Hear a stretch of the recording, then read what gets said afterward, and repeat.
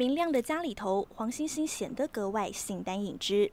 十多年来，他受僵直性脊椎炎所苦，背一直驼着，好像你走楼梯踩空了一样，对，就分分分分钟钟都会踩空了的感觉。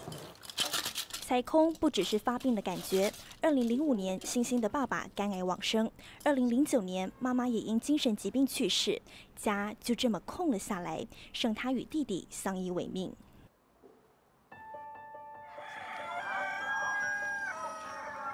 两年前，厦门慈济助学团了解到黄星星的状况，定期居家关怀。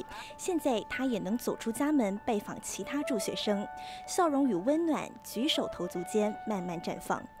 开心也很幸福，对，也很感恩，就是能能够给给我这个付出的机会，从以前的手心朝上，转转为现在的手心朝下，对，可以帮助更多人。